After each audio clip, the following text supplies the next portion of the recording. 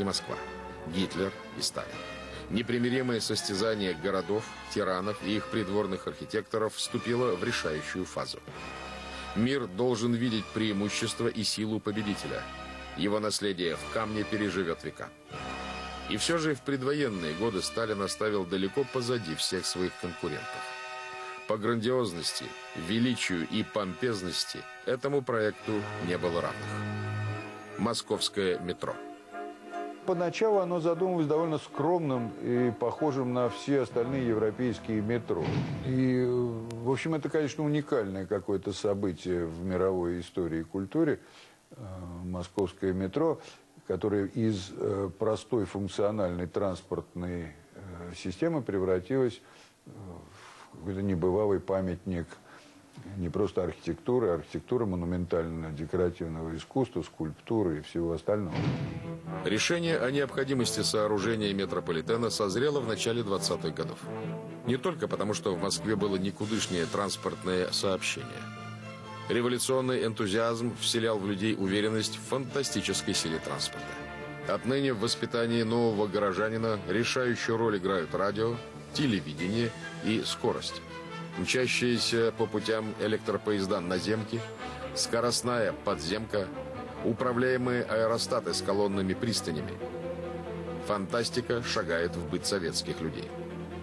21 марта 1933 года постановлением Совнаркома СССР утверждена схема линий московского метрополитена протяженностью 80,3 километра, насчитывающая 10 радиусов. А спустя два года, в апреле 35-го, открывает свои двери станция «Парк культуры» первого красного радиуса.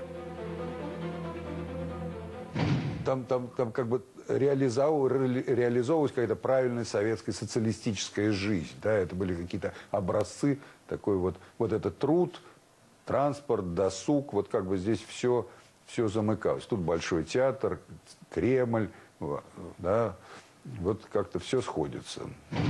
Метро – это очень сложный подземный город. Система коммуникаций для быстрого перемещения людей. Советские метростроевцы выбрали совершенно свой особый путь.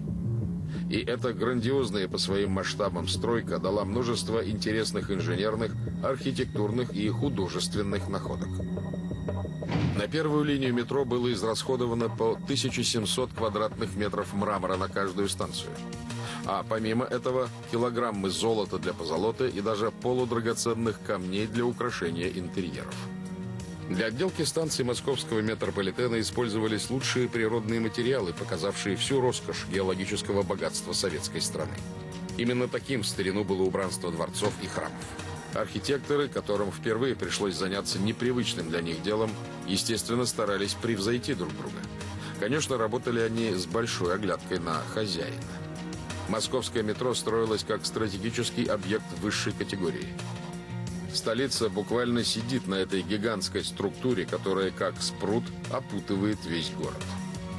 За проведение работ особой государственной важности один из создателей московского метро Алексей Душкин будет награжден орденом Ленина.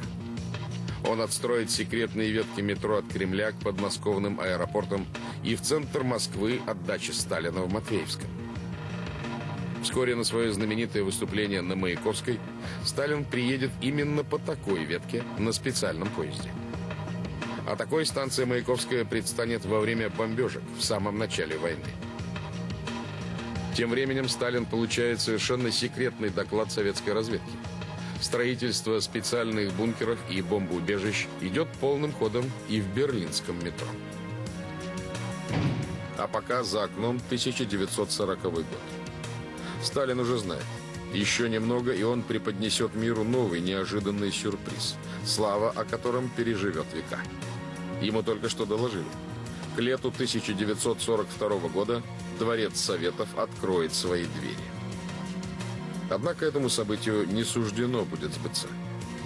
Скоро начнется война.